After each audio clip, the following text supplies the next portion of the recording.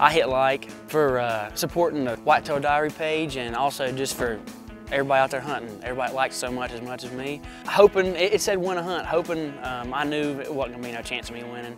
I guess Lord said, hey, this guy, get him to hunt there. And, uh, and I won, man. I just can't believe it. After the morning hunt, Wade and Gates spent some time sighting in the Thompson Center rifle that Gates will be using and making sure he was comfortable before they head back out to the food plot for the afternoon.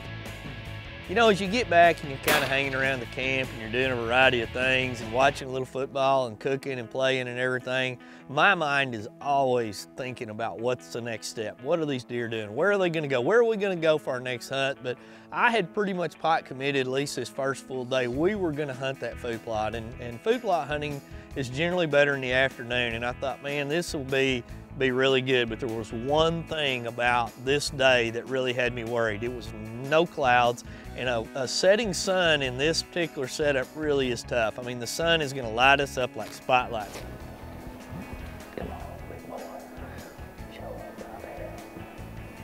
It was a tough set. The light was tough, the deer were tough, and for whatever reason that evening, uh, the deer around us were blowing. You know, they were just in one of those nervous Nelly moods and they'd come out and they'd look at us and they'd look at the bush and they'd look over here and next thing you know, they'd all blow and they'd be gone. And at the end of the first day, the plans that I had in my mind, they just simply didn't come together, but you couldn't tell that Gates was disappointed at all because he was still grinning and having a blast. He saw a lot of deer. Some deer had even got him pretty excited, but I just felt like you know, conditions could get better and maybe we could find some bigger deer than what we'd passed.